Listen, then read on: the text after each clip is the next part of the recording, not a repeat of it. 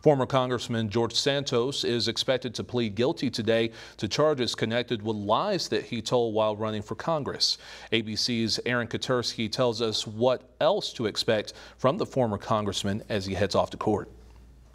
This morning, sources tell ABC News disgraced former Congressman George Santos is expected to plead guilty to multiple federal charges and admit to a wide range of fraudulent schemes. Santos had maintained his innocence for more than a year. The reality is is it's a witch hunt.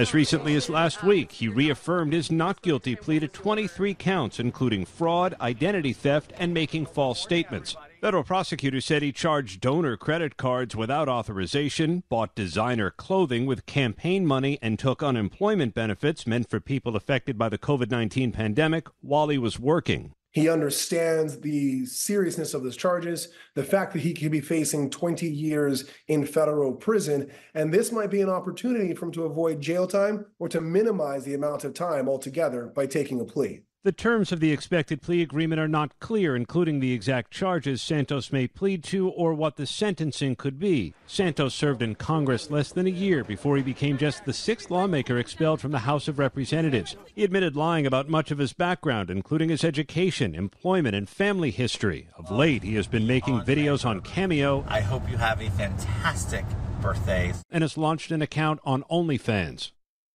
Santos was supposed to go on trial starting September 9th at this courthouse. Instead, this anticipated plea arrangement came together in just the last couple of days with prosecutors and defense attorneys on Friday asking the judge to set a hearing, which she put on the calendar for this afternoon. Aaron Katersky, ABC News, Central Islip, New York.